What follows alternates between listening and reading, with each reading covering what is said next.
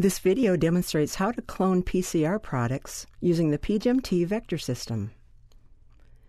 Briefly centrifuge the pGEM-T vector and control insert DNA tubes. Set up the ligation reactions. Vortex the 2x rapid ligation buffer vigorously before each use.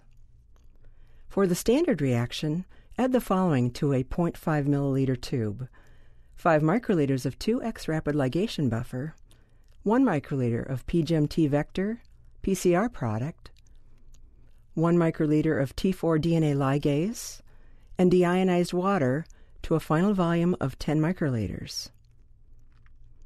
Limit exposure of your PCR product to shortwave UV light to avoid formation of pyrimidine dimers. Avoid the introduction of nucleases, which may degrade the T overhangs on the vector by using only the T4 DNA ligase provided with the system. Assemble a positive control in a 0.5 milliliter tube with 5 microliters of ligation buffer, 1 microliter of pGEM-T vector, 2 microliters of control insert DNA, 1 microliter of T4 DNA ligase, and 1 microliter of deionized water for a final volume of 10 microliters.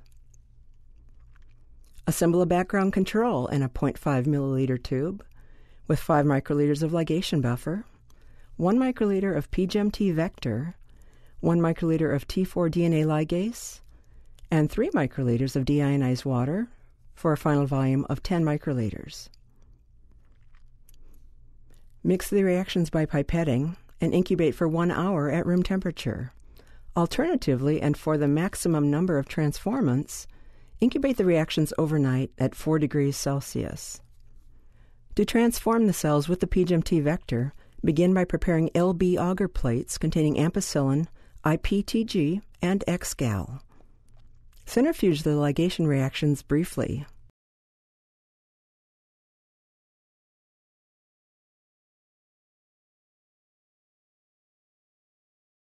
Add 2 microliters of each ligation reaction to a sterile tube on ice.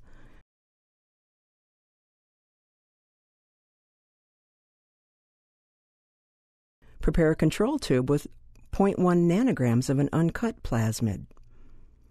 Place the JM109 high efficiency competent cells in an ice bath until just thawed, approximately 5 minutes. Mix the cells by gently flicking the tube. Carefully transfer 50 microliters of cells to the ligation reaction tubes. Use 100 microliters of cells for the uncut DNA control tube. Gently flick the tubes and incubate on ice for 20 minutes. Heat shock the cells for 45 to 50 seconds in a water bath at exactly 42 degrees Celsius. Do not shake the tube. Immediately return the tube to ice for 2 minutes.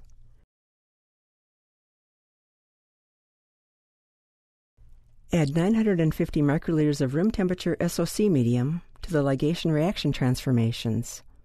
Add 900 microliters of room temperature SOC medium to the uncut DNA control transformation. Incubate for one and one half hours at 37 degrees Celsius with shaking.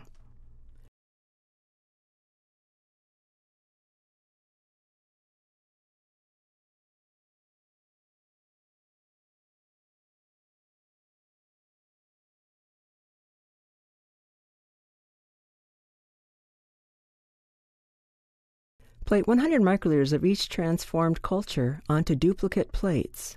For the uncut DNA control, a 1 to 10 dilution with SOC is recommended.